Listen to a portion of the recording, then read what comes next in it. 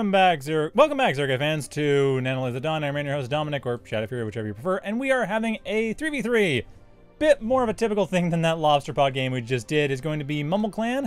There's North Chilean G playing Air, Topkack playing tanks, and Sigero on shields against Northside, which is... I'm not sure, I guess it's just a mix.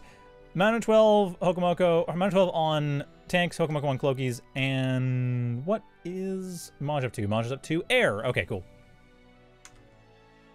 So air, pretty early on. Bear in mind, this is the latest version. Like, this is going to be, or this is 150?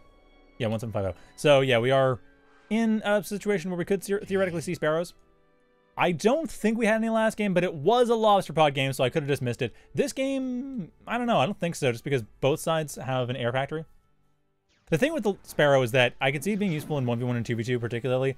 3v3, maybe, not necessarily so much on a map like Comet Catcher, but at the same time, that would open up Maj to go for vehicles or something on the western side of the map to have an easier time holding the western side of the map.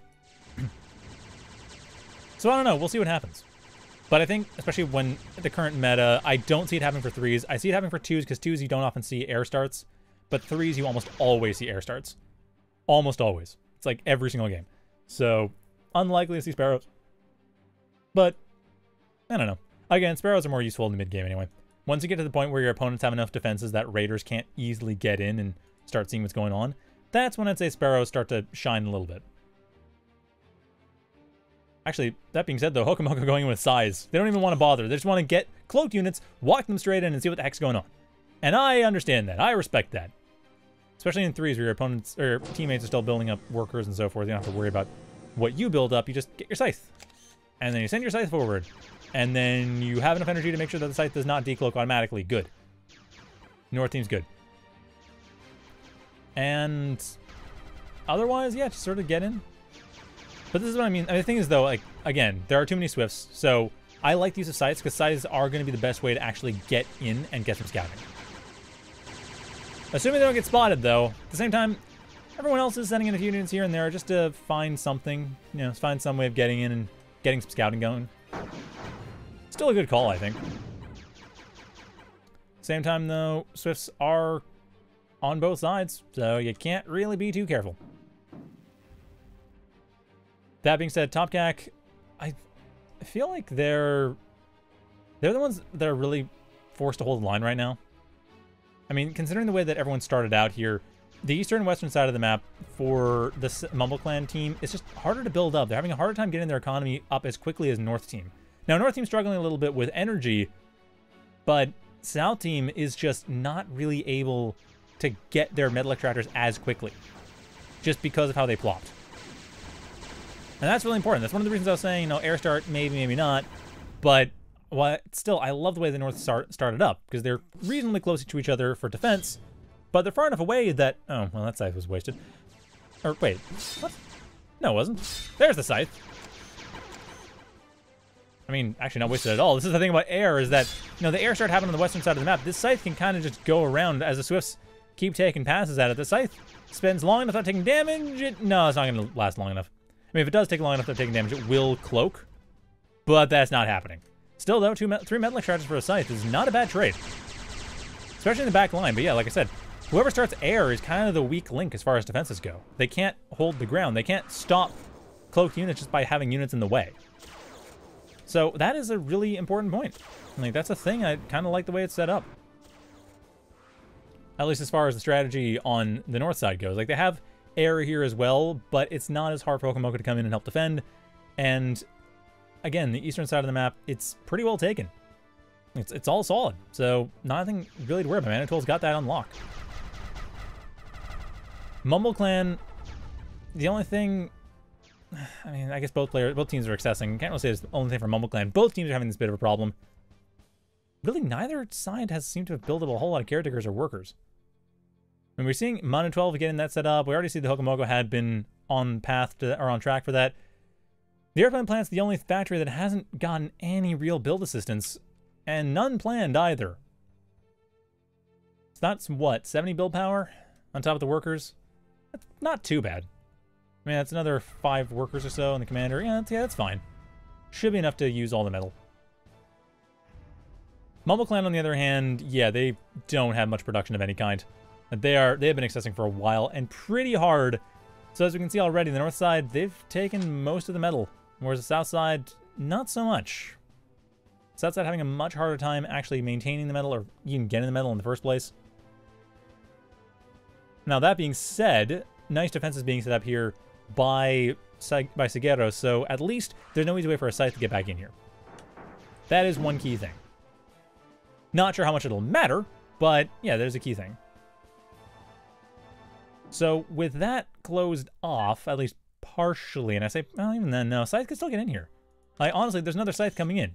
There's four Scythes coming in, and there's no opening for, oh no, I guess there is. Yeah, there is. Stardust doesn't have the range. That's the key thing here. The Stardust actually does not have the range to work with this, so these Scythes can just waltz right in here. They'll talk, they'll, they'll talk to, they'll chat with the Lotus for a little while. Death chat. Oh, never mind. Okay, never mind. Sorry, the range indicators are wrong. Because it is, in fact, able to hit longer, despite the defense indicators. Because it is on a hill. Because that is how hills work. Well, that is how hills work for ballistic projectiles, I should say. Not for lasers. Lasers do not benefit, but ballistic projectiles and plasma projectiles do. So, never mind. That, that one's doing fine. So, Jumpbot Factory, no real plans here, but Maj getting the ground source in Jumpbot Factory. As the north side, yeah, they have triple digit income. They have the advantage. They're in a solid position. Not doing too bad overall. Eastern side being the one thing I'd be a bit concerned about. As well as the fact that a lot of these scythes aren't really able to do much. I mean, two scythes are left. I'm a bit surprised there aren't attempts to push in along here. But there aren't. And again, this is actually where I'd, I'd like to see sparrows. I know it sounds silly because you're thinking, well, there's swifts all over the place. It's like, yeah, but that's that's fine. I mean, we're not going to be seeing Swifts come in here to actually deal much or do much scouting or deal much damage. We're not going to see anything else really come in to try to attack. The Owl is up, so that's fair. But the Owl doesn't seem to be going in far enough. It's more a matter of cost-benefit. Like, if Sparrow could just go in there. It'll die, but it'll see a lot in the process. And that information could be worth 200 metal. Or, it's, even, it's not even 200 metal. No, it's not even 200 metal. What am I saying? It's 175 metal. Okay, it's close enough. Still, though, the northern side, like I said, they found that opening. Realized, oh, hey, you just go in here. Oh, there they go. There they go. There's the scythes. Actually taking the risk. Moving, creeping slowly in Hokomoko, just making sure that there's actually a safe way of getting in here. And there certainly is. As long as they just go in, they'll be fine. Nothing is going to attack them. Uh, there's even holes between the defenses. Like only one Lotus in each section. The scythes can take out the Lotus is no problem. They go around the back, take out the factories, take out the caretakers, which admittedly MumbleClan has built a sufficient number of. So fair enough, MumbleClan's actually doing fine for their economy. But that took them a while to build up. It took them a good long time to get their economy into a halfway decent position, which at this point is starting to become scary. So I'll grant that is a bit of an issue, especially as, well, okay, this Minotaur's not doing too much. But this shield ball is becoming a bit of a problem. Nothing's really here to defend it. No forces, no Air Force coming in to help respond. Nothing on the ground really ready to help respond. There is a Likho that is going to be able to get rid of about half the shield ball. But the rest of it is pretty much uncontested. I mean, the Emissary is certainly trying, but it's not going to be able to do much good. However, the front lines, at least further reinforcements, will be prevented. Glaives coming in. No, you, you can't beat the Outlaw. You can try. The numbers definitely work okay, I guess, but that is a lot of outlaw. That like that was what five? No, that was a dozen glaives to one outlaw, and the outlaw's not even dead. But hey, the blitz coming in here, good choice. Get that status damage on those shields, get them down a little bit faster, and hey, why not get them stunned at the same time? So I like that call, and of course the Likho is up, but I think that's. Oh wait, it's another Likho up. What am I saying? Where's the Likho? Oh, I see. Both sides are just going for Likho. Fair enough. Yeah, this shield ball, weapon of the shield ball with Likho will be a problem. I don't think that's the option here. I think the Likho is actually going to be used as a way of breaking the front lines or possibly breaking these Minotaurs, which are causing problems. I mean, as much as I'm giving MumbleClan a lot of credit for their economy and their territory play, they have not been building up a very strong economy. Or sorry, very strong military. Their military has been they've been cracked wide open by a small shield ball, a thug law. And then a few Minotaurs in the front lines not really a whole lot that's inspiring confidence as far as being able to defend against attacks, and that is exactly what MumbleClan has taken advantage of. I mean, all these metal extractors going down. None of the power plants going down, though. Metal extractors aren't the biggest blow. It's still bad, though. Like, still, but four, five metal extractors? No. It's like 10 metal extractors at this point. That's 20 metal per second. That's not nothing. So, it's a bit of a challenge. Right now, we do have at least the shield ball dead. The Likho did his job defensively. But again, a lot of damage was dealt in the process, and the, the rebuilding effort is going to be considerably impeded by the fact that at the same time, the Mumble Clan team, particularly Sigero, has just been just been clawing in on the eastern side of the map, ready to take on Manito's commander, just generally holding the line as far as all these metal extractors that were destroyed. So a great deal of territory being claimed by Mumble Clan. Little late into the game, but it's fine. As long as they're able to turn that into a military and turn that into more territory advantage, they will be able to take this game with that push, or at least that push will put them in, a, in an advantageous position. Still, though, North side isn't behind on economy. It's simply at parity. So care still needs to be taken with all these units, with all these forces being sent around the map. It can't be used carelessly because it's not like North side's on the ropes. In fact, they're rebuilding very quickly, so it's even then, it's actually it's doing just fine. Just a matter of getting rid of all these forces here, but again, the emissaries, those beat out the Ronin, no problem. All anything has to do after that is walk in and start taking the metal extractors, and then it's fine. Of course, a bit of a repeat of the last game, where we have emissary on emissary combat, but not as much anti-air, so it's a bit easier to take out the emissaries. The, snipers could theoretically as well, for the fact that these bandits were very cleverly being used to stop that from happening. Because, yeah, that's a really good call. Still, Glaive's coming in here able to take out the bandits, which means that the sniper, the phantoms, will be able to walk in, take out the minotaurs, take out the take out the emissaries, and open things up again. Really just making it that much harder for Mumble Clan to continue pushing forward. While on the north side, I mean, they're winning this fight. They're taking the reclaim at the very least, and they're turning that into even more army. Well, more glaives primarily, but still more army, more glaives, more raptors, some power plants, and a lot of emissaries. Just continuing to push that emissary line while wiping out their opponent's emissary line. The north side turning it into a great attrition fight, but at the same time, a lot of Minotaurs coming in here. If they're not stopped, that is still going to be Mumble Clan taking back the advantage. But two of the Minotaurs are near death. One of the Minotaurs, are, or sorry, one of the Minotaurs and the Ogres are near death. And the Ogre's not able to do as much, actually not able to do anything. The Minotaurs, this point, up up next to the Welders, being blocked, being body blocked by them specifically, but still able to get rid of some of the Stingers. It may not be enough, however. Raven's coming in, taking out, or at least heavily damaging this Minotaur. But Sai is coming in the back lines. The emissaries, that is the real story, as they are able to come back in here, and not a whole lot of damage is being dealt to those Sais. Not in time. The emissary line has been wiped out for Manu 12.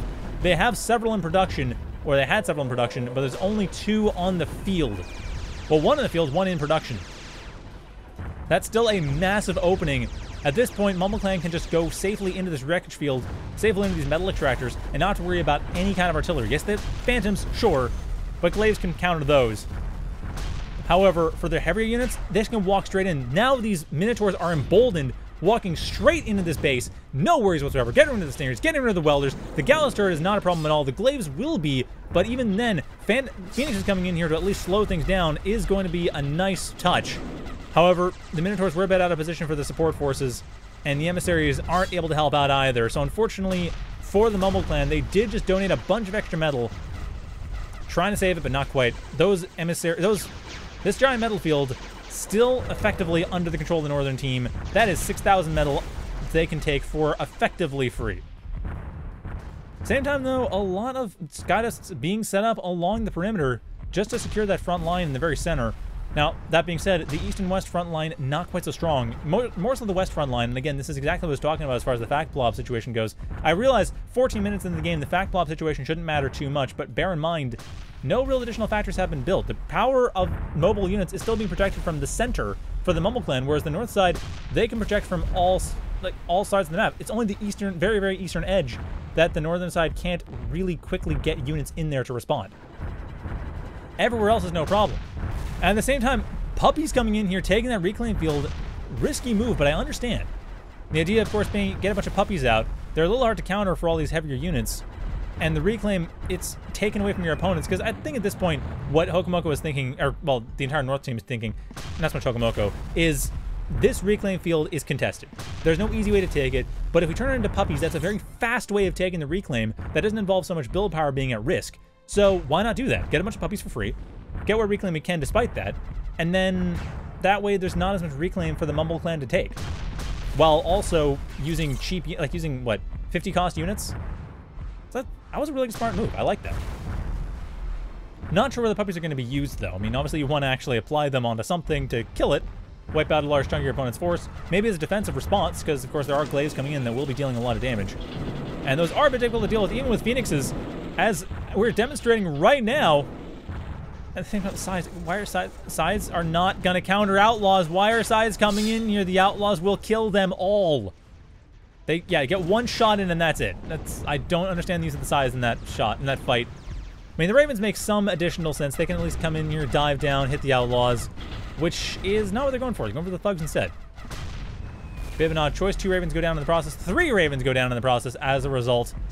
No real success there. The Blitzes, however, that is the answer, or at least a much better answer than we've seen previously. So the eastern side, the defense is still in a reasonably good position. And Still, though, this is exactly the same thing we saw before. Again, this is why I talk about fact plop, is that this eastern edge is the very vulnerable point that Sigero keeps hitting because there's no easy way for defenses to be built up right there. Like, honestly, I think if the North team takes this back, building another factory along this corridor might not be a bad idea. Not sure what kind of factory, though, considering what they're up against. But shield, probably.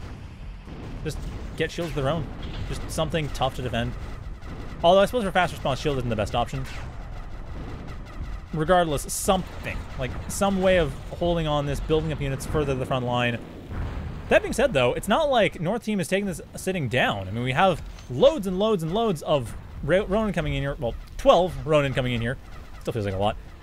Along, alongside about a dozen Glaives, breaking through the defenses, actually breaking through very nicely through the defenses. The Swifts trying to stop them, but the Glaives should be able to take out a Metal Extractor or two, alongside the Ronin wiping out this Stardust that will be more than enough to actually take out this entire defensive line on the western side of the map. And again, nothing else has really been built to stop this. The Glaives, however, have been taken down. The combination of Phoenixes and Swifts able to stop that, but that Stardust has been opened up. And with the amount of production capacity that Northside has, they could theoretically build up another large army like that and push in as a follow-up, but I don't see it happening. In fact, that does feel like a bit of a metal donation, all things considered. I think the one thing here that's kind of going in favor of the northern side is that there aren't any workers at the western side of the map, because again, the factory is way far away. So that's not likely happening. Oh, not to mention, oh, that's a shame. Hovercraft being completely taken out. Not even able to be used. Just doing nothing. That's unfortunate. Still, though, center of the map being gradually pushed in. The eastern side of the map has been rebuilt. There is at least these puppies as a response force just in case the Ghetto tries, and tries anything clever but that may not be necessary. The Dante providing enough pressure, I think, that's going to be able to possibly, uh, or maybe wipe out the emissaries. Theoretically, should be able to wipe out the emissaries, but that's a question of how daring North Team is willing to be, which the answer is not very, and it may not matter. I wish the Dante had gone forward. It could have at least killed the emissaries before dying. That being said, it is still in the middle of North Side territory, so reclaim is possible. However, there's Sigero coming in for another assault. Not going for the weaker section, though. Going straight for the emissaries. Trying to take them out directly. Hokomoko's commander, however, is in a much better position to defend against this. At least against a couple of them, but there's the Phoenixes to finish this off. There's the Glaives going down, with more Glaive support coming in from Hokomoko. Two emissaries do go down, but that's not nearly enough to wipe out the entire line. So we're still seeing North Side maintaining a relatively strong position as far as their artillery force goes, and thus as far as maintaining the front line goes. Mumble Clan, however, continues to push in, continues to apply pressure, actually spots the Trinity being built up. So this is not going to be a very decisive Trinity for the North team. I mean, it wasn't a bad idea, but a little bit far forward. I don't think you actually have to have it that far forward. I'm fairly certain that if you... Like, Trinity's... Uh, what's... Oh, let's see. Trinity range is long enough. There is, yeah, that's it's going to hit across the map. They could have done in the top left corner and not had any issues. So not quite where's the Trinity. Not quite sure the motivation was for the Trinity being this far south and this close to the opponents. Because now it's been spotted. Now we're going to get anti-nukes built up. Now, unless the point was to lightly build a Trinity in order to trigger their opponents building anti-nukes, in order to set up an anti-nuke, anti-anti-nuke defense, maybe. That's a possibility. but I don't expect that to happen. I think what'll end up happening is that the the anti-nukes won't be built up because the nuke is so far away from completion. And I'm pretty sure the north side saw that. Like, it's... There's not a whole lot going into it, so I don't think MumbleClan is too worried about building an anti-nuke anytime soon. I mean, they have seven minutes before they have to worry about it, and I think they know it.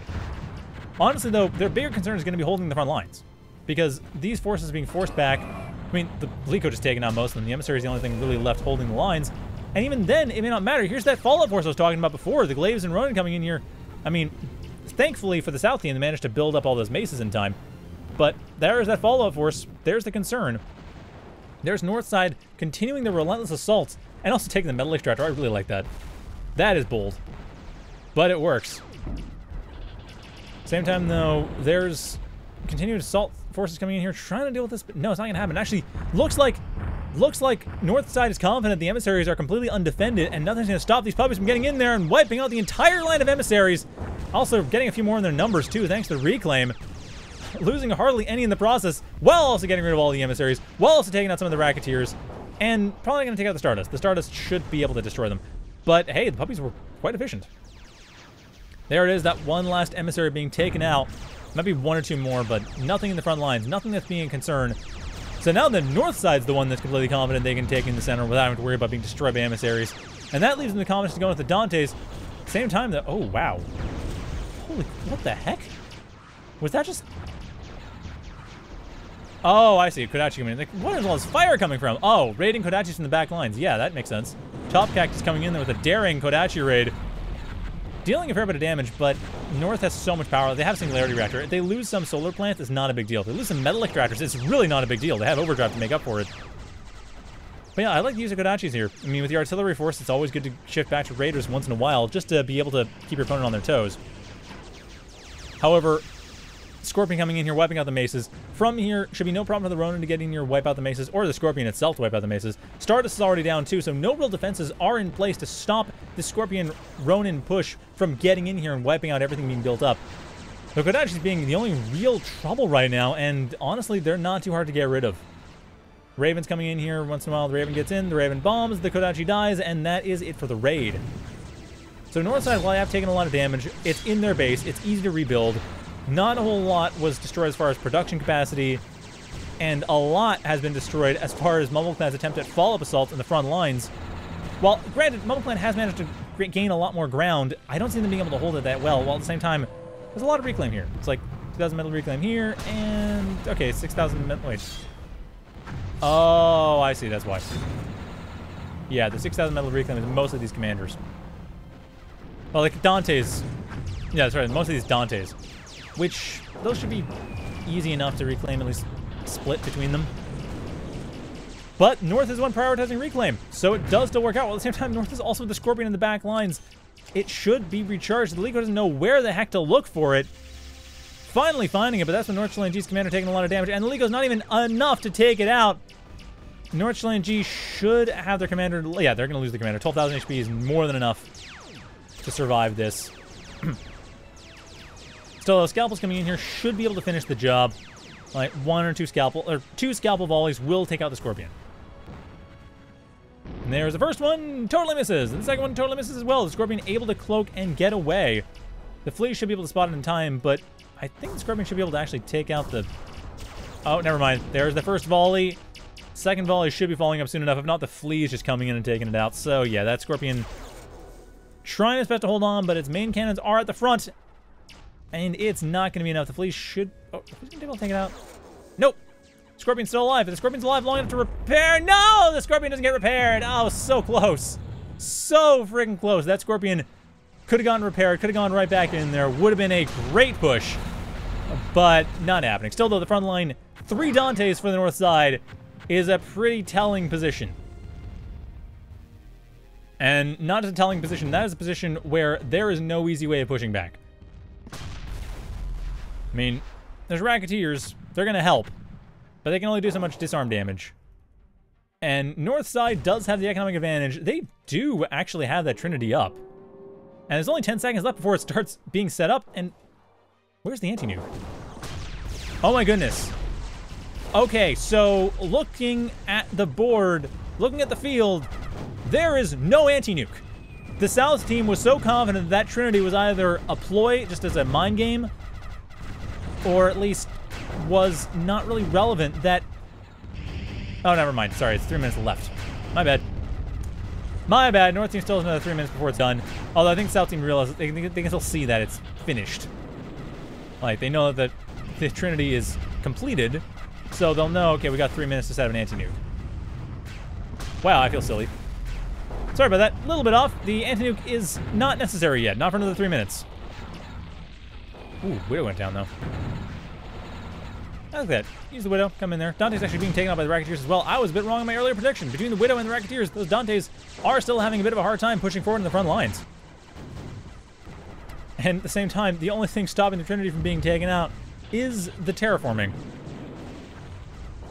So Minotaurs, one of them being dug into a hole, the other one shouldn't survive too long thanks to that sniper, but that's still a pushback. The western side has been heavily damaged, and more and more Dantes are being destroyed in the process. There's only three left out of four. Another one coming in the back, another one on production. So Dantes are still being regularly produced. Manu 12 on it, but losing a lot of it in the process. Of course, the question is where are the workers? And they are indeed right here. They are indeed setting up to reclaim. So north side not losing much. That's always the important thing. If you can hold on to your reclaim, you'll be fine. Like, holding on to the reclaim is always the key thing, because if you lose units and you get the reclaim back, you're at least only out for 60% of the cost of the unit. You're not out for 140% of the cost of the unit because you gave your opponents a 40% metal advantage off the units you lost. So, it's always good to have the workers just back there, especially in big games like this, or small teams granted, but in team games like this, when you have more than 1v1. Even 1v1 is not a bad idea, but heavier units come out more often in these big team games.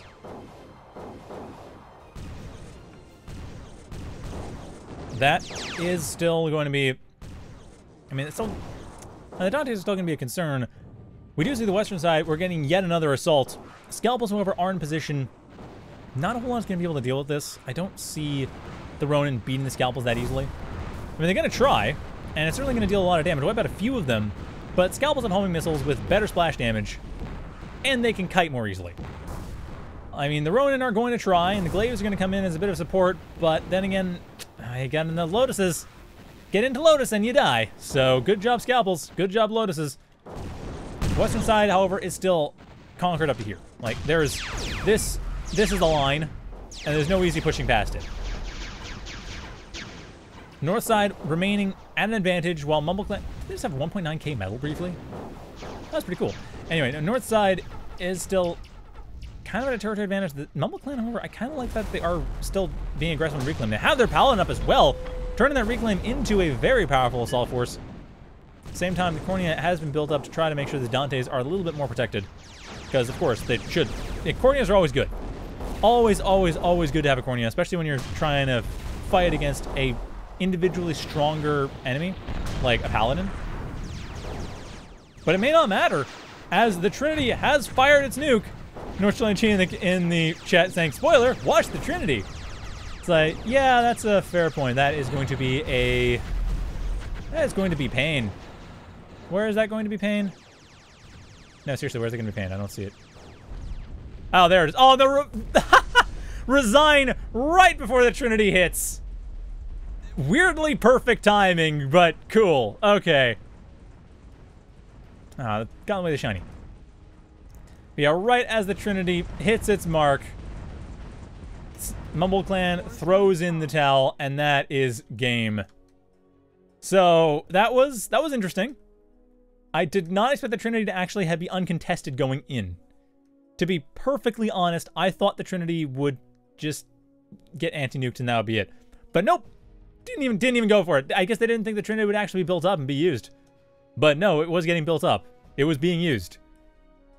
I mean, the Raptors, uh, the, Raptors, the Minotaurs came in and tried to take it out, which definitely was worth trying. I'll give that.